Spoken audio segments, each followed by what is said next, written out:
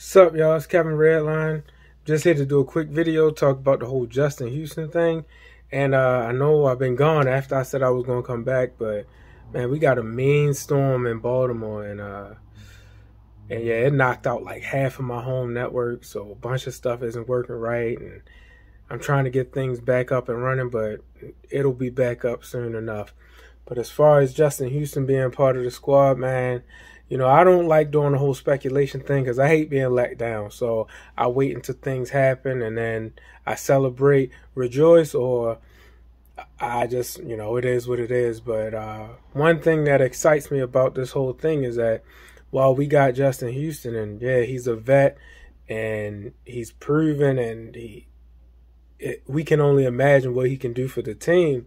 The one thing that has me most excited is the fact that he's not somebody like he doesn't have to be the guy. And I brought this up before in my previous videos, but I like the fact that he does. We don't have to rely on him. Some of the things that uh, Wink is going to be able to dial up, and the distraction, you know, just off of his reputation alone, is an opportunity to let some of the other guys or some of the young guys shine. Um, I'm excited because man, it's it's it's so much now that we have him so much that we can do. Now, you know, before I was a firm believer in the fact that we got some good young guys and we would be successful with or without uh, Justin Houston. And I still have that same stance, but now that we officially signed him, I just feel like, you know, it opens up so many other doors for us to have more success. Um,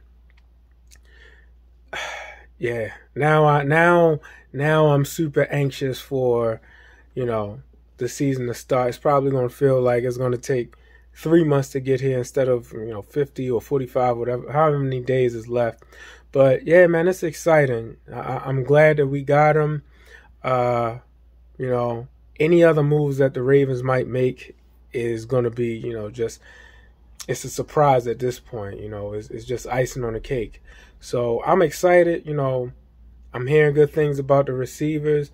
Uh, the fact that T, you know, Tee Martin and Keith Williams, they doing their thing and getting high praise. Eh, I'm just, you know, my hype is at an all time high. May not sound like it in this video because I'm trying to keep my my my uh my hype levels lowered. But hey, man, I'm I'm excited. But I had to put out a video. You know, it's been a, a bunch of stuff going on, so I, I had to put something out for you all. You know, I appreciate you all. Again, I say it every video. I appreciate, you know, the subscriptions. I appreciate everybody watching. I appreciate the comments. Uh, so, you know, let me know how y'all feel. And, uh, yeah, I can't wait.